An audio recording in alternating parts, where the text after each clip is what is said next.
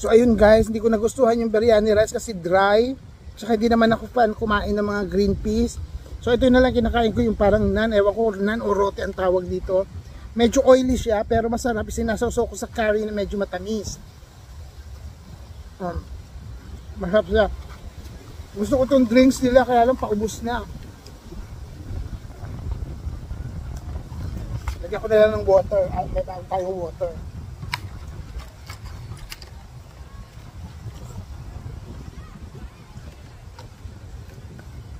Siguro babalik ako doon wala ako ng drinks. Ang sarap yung drinks guys, promise.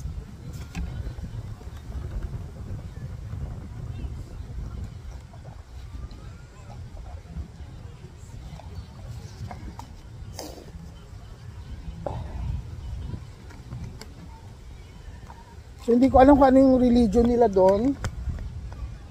Ito may nagbigay sa atin ng pamphlet. I don't know what it is about yoga. We're gonna read it when we Ito yung activity nila for the whole day.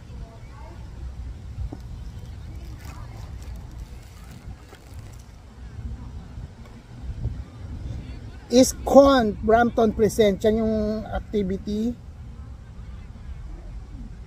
So hanggang 6.30 siya. Ayan, ayan. Para siyang religious activity ng mga Indian. So, ito siya tawagin. Ayan. So, di ba may free food pa sila? Talagang hindi ka magugutom if you attend the event.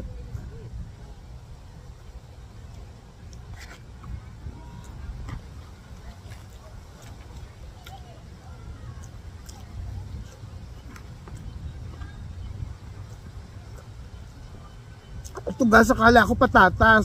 Pero pag ninuya mo, hindi siya patatas. Ito siya, um, parang tofu sa atin. Masarap.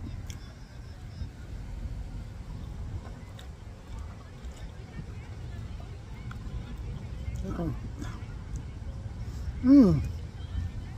Sarap. Ang tawag dito kung roti o naan,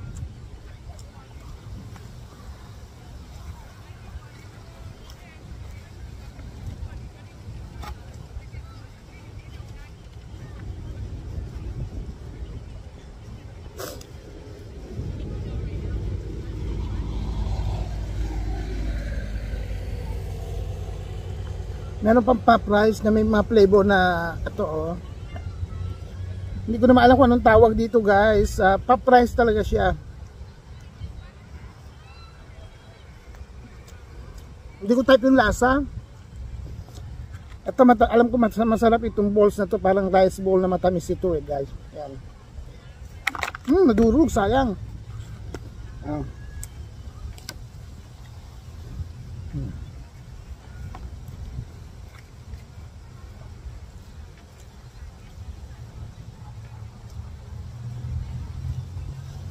So ayan. So ayan muna ipapakita natin sa inyo. Kakain lang ako. Then babalik tayo mamaya guys. Okay, bye-bye.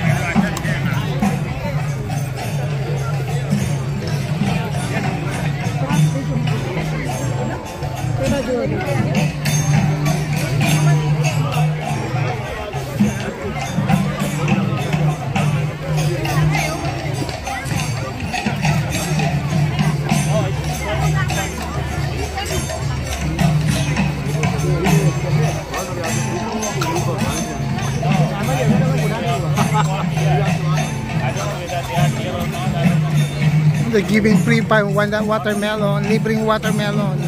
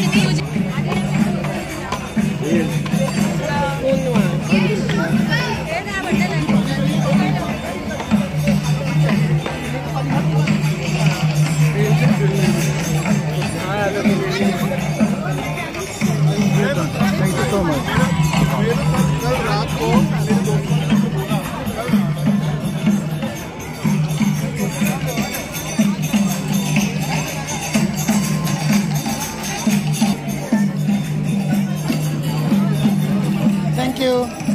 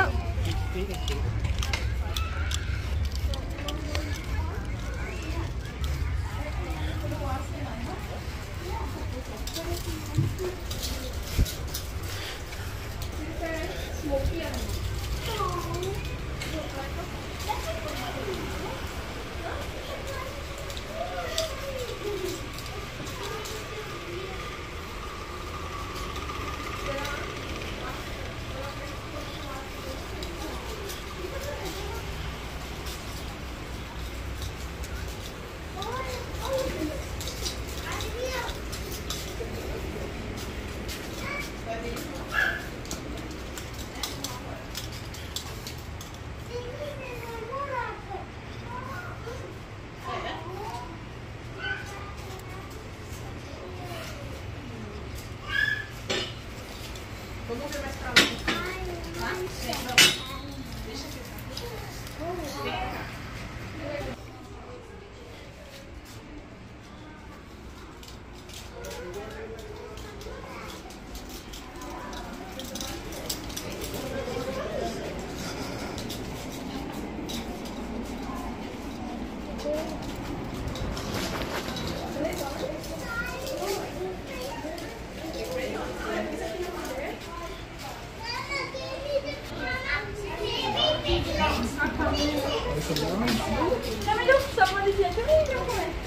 Chicken, eh?